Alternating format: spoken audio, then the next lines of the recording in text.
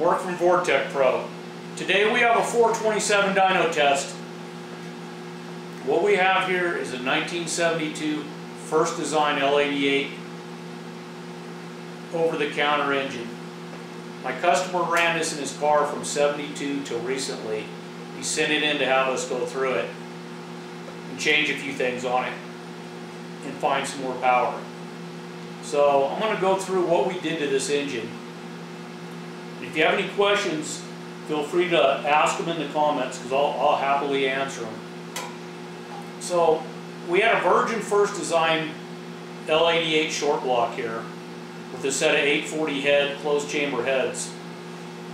And what we ended up doing is we we indexed the crank, we set the stroke to 3.765 course, the stroke was all over the place with the factory. So we cleaned that up. It's all indexed now. It's 1010. We used a SCAT 6385 rod with a Racetec piston. And we set the compression at 10 2 to 1. We used a King rod main bearing set in the motor, along with a billet, a billet timing chain set cam is a solid roller. It's 260, 270, 50 on a 108 with 630 lift at the valve. We took the oil pan the customer wanted to use the factory pan so we, we made our modifications to it and put a tray in it at the same time. And uh, we're running Maxima 1040 conventional motor oil with the Wix 51061 filter.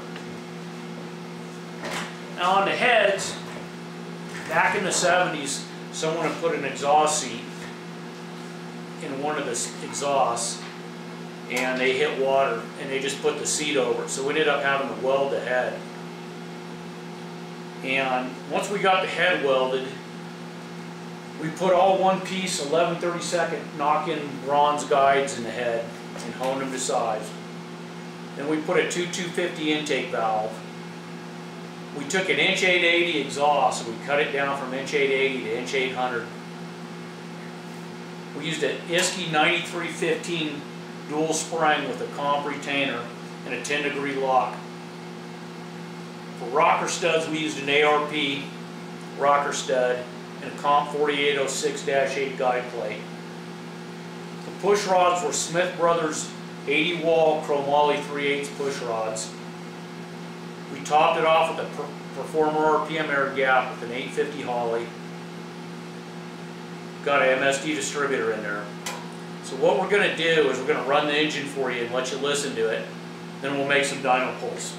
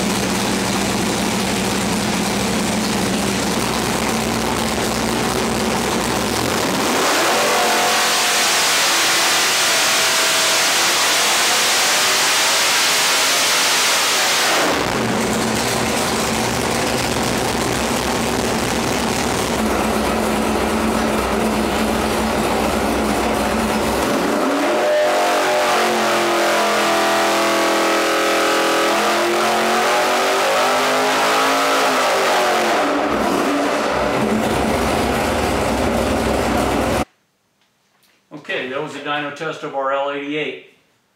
So we're not able to post pictures of the dyno sheet yet because uh, we actually don't know how to edit it in, but here, here's what we ended up with for power.